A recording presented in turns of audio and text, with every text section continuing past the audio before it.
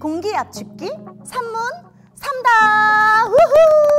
여러분 안녕하세요. 진행자 이지효라고 합니다 자 오늘은요 온실가스 에너지 감축에 대해서 이야기를 나눠보고자 합니다 그 중에서도 식품 기업에서 에너지를 절약할 수 있는 방법 중에 가장 쉬운 방법 공기 압축기에 대해서 알아보고자 하는데요 제 옆에 전문가분을 모셔봤습니다 안녕하세요 안녕하세요. 본인 소개 부탁드리겠습니다 저는 공기 압축기 제조사에서 근무하고 있는 이재철이라고 합니다. 어? 잘 부탁드립니다. 네, 반갑습니다.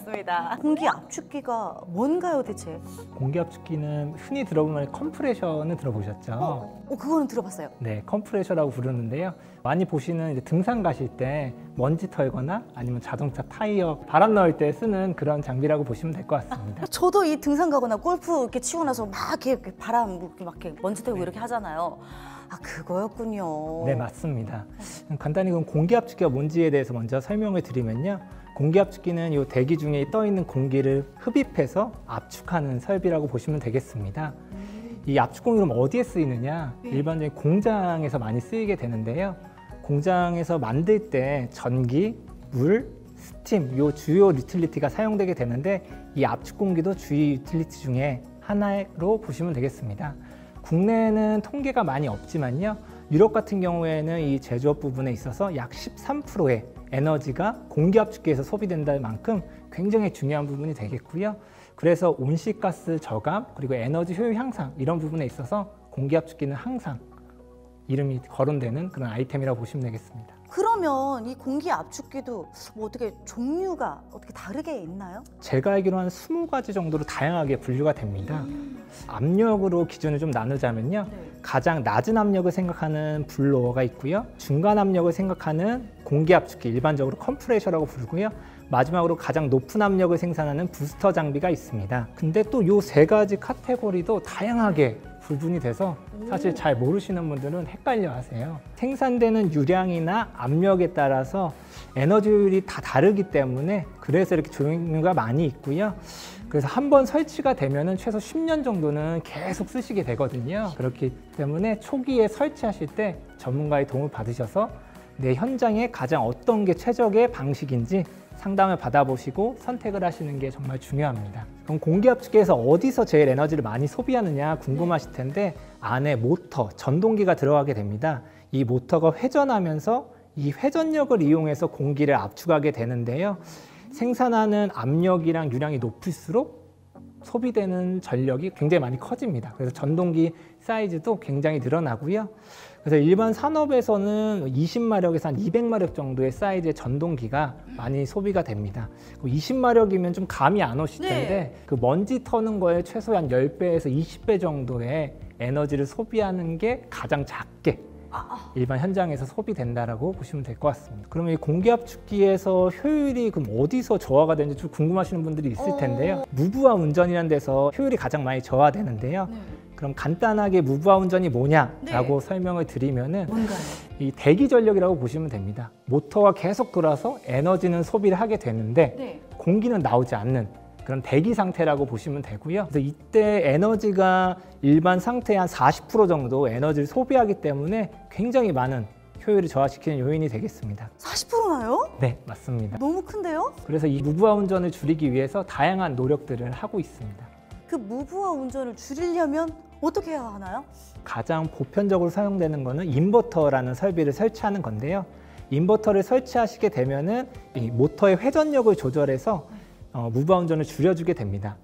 20년 전부터는 적용이 돼서 운영이 되고 있는데 아무래도 초기 비용이 비싸다 보니까 다들 머뭇거리거나 아니면 검토를 안 하시는 경우가 많이 있는데요.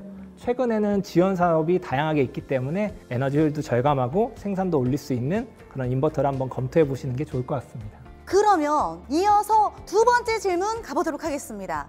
무부하 운전, 공기 압축기의 에너지의 효율을 좀 저하시키는 요인이잖아요. 네, 이 무부하 운전 말고도 혹시 다른 요인들이 있을까요? 다른 여러 가지 요인이 있는데 이번 시간에는 크게 세 가지만 말씀드리려고 합니다. 첫 번째는 이 공기압축기 후단에 과도한 압- 음, 설비들이 있고요.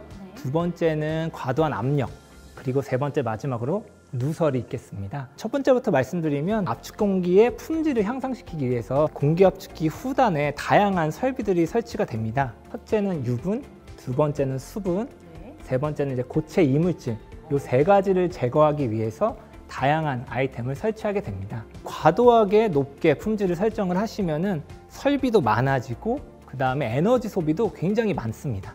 그렇기 때문에 내가 과연 어떤 품질을 요구하는지 가장 먼저 아시는 게 중요하고요. 예를 들어서 설명을 드리면은 후단에 수분을 제거하기 위한 제습기가 들어가는데요. 네. 흡착식 드라이어 같은 경우에는 보통 생산된 압축 공기의 15%에서 20% 정도 에너지를 소비하기 때문에 이것만 제대로 써도 에너지 효율을 많이 향상시킬 수 있습니다. 그렇군요. 네. 자, 그럼 이어서 두 번째는요? 두 번째는 가장 기본이 되는 압력인데요. 이 압력 설정을 굉장히 높이 하는 경우가 많이 있습니다. 압력이 떨어지면은 이 공합 설비가 가동을 안 하기 때문에 현장 실무자들은 압력을 과도하게 높여서 쓰는 경우가 많이 있습니다. 그래서 요것만 찾아서 줄이기만 해도 굉장히 많은 에너지를 줄일 수 있습니다. 알맞은 압력. 네. 자, 이어서 세 번째는요? 네, 마지막 세 번째는 이제 누설인데요. 배관을 통해서 압축 공기가 전달이 됩니다. 배관은 보통 철 재질을 많이 사용하게 되는데요.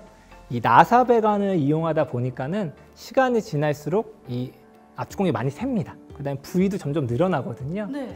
그래서 이게 한 10년 정도 지나면 한 20% 정도가 누설로 빠진다고 해요. 그래서 이거를 잘 찾아서 조치하는 게 되게 중요한데요. 네. 사실 현실적으로는 이게 눈에 보이지 않기 때문에 물은 새면 보이잖아요. 네. 그렇기 때문에 이것도 전문가의 도움을 받는 게 중요할 것 같습니다. 아, 헉, 생각보다 굉장히 많은 요인들이 이 공기 압축기의 에너지 효율을 절감을 시키는 거군요. 네, 맞습니다. 네, 이런 부분들을 잘 파악하시고 잘 관리하셔서 사용하셔야 될 것 같습니다. 자, 그럼 마지막 세 번째 질문 드려보도록 하겠습니다. 공기 압축기에 대해서 계속 얘기를 들으면 들을수록요, 이 에너지 효율을 잘 향상시키는 게 중요하다라는 생각이 드는데, 그렇다면 현장에서 잘 실천할 수 있는 방법들이 있을까요? 이 시간에는 간단하게 현장에 적용할 수 있는 거 먼저 소개시켜 드리려고 합니다. 일단 첫 번째는 사용하시는 압축 공기 설비가 있는 현장으로 찾아가셔서요. 어떻게 운영되고 있으신지 확인해 주시는 게 좋습니다. 공기 압축기의 설정 압력이 얼마나 돼 있는지 먼저 확인해 주시고 적정한 압력으로 조절해서 내려주시는 게 중요한데요. 네. 1바 정도의 압축을 하려면 네. 7% 정도의 에너지가 더 추가적으로 소비가 되기 때문에 압력을 낮추고 적정 압력을 설정하는 게 굉장히 중요합니다. 그리고 두 번째로는 이 소모품을 제때 교체하는 건데요. 이 공기 압축기 시스템에는 많은 필터들이 존재합니다. 아까 압축 공기 품질을 향상시키기 위해서 많이 존재하게 되는데요. 네. 이 필터가 오래 지나면 막히게 되거든요. 네네네네. 그러면 이제 공기 압축기가 압축을 하는 설비인데 이 압력이 생성이 되지 않습니다. 그러면 압력을 더 올리게 돼서 에너지가 또 많이 필요하게 되는 악순환이 반복이 되게 되거든요. 음, 그러네요. 네. 그래서 현장에서 많이 쓰이는 흡입 필터, 라인 필터, 그리고 세퍼레이터 같은 거를 제때 교체해 주시고요. 차압이 적정하게 유지가 되는지 현장에서 확인하시고 또 전문가의 도움을 받으시는 게 좋을 것 같습니다. 마지막으로 누설인데요. 네. 물이 아니기 때문에 새는 부위를 찾기가 굉장히 어렵습니다. 가스 검침원 분들처럼 이렇게 네. 비누방울 테스트를 하는 경우도 있고요. 아. 아니면 초음파 설비로 확인하는 방법도 있습니다. 근데 찾아내도 이거를 조치하기가 굉장히 쉽지 않습니다. 그래서 이렇게 새는 것보다는 이 열려 있는 밸브 요거를 닫는 게 굉장히 중요한데요. 현장에 방문하게 되면은 열려 있는 배관들이 굉장히 많습니다. 이 담당자분한테 뭐 이거 왜 열어놓으셨어요? 그러면은 모르시더라고요. 어디서 제일 많이 열려 있느냐 보시면 이 리시버 탱크라는 탱크 아래 밸브가 열려 있는 경우가 굉장히 많이 있습니다. 여기 같은 경우에는 이제 물이 빠지게 되는데요. 이 물이 빠질 때 이제 요게 물이 막히는 경우도 있고요. 아니면은 이제 겨울철에 얼거나 아니면 먼지 때문에 쉽게 고장 나서 그냥 밸브를 열어 두시는 경우가 많은데요. 그래서 이런 경우에는 drain trap이라는 게 있습니다. 예. 이게 물이 차면은 자동으로 빼- 열어둬서 빼주는 그런 설비인데요. strainer나 아니면 필터가 내장된 auto drain trap을 적용을 하시면 좀 더 덜 고장 나기 때문에 leak도 줄일 수 있고 에너지 절감할 수 있는 그런 설비가 되겠습니다.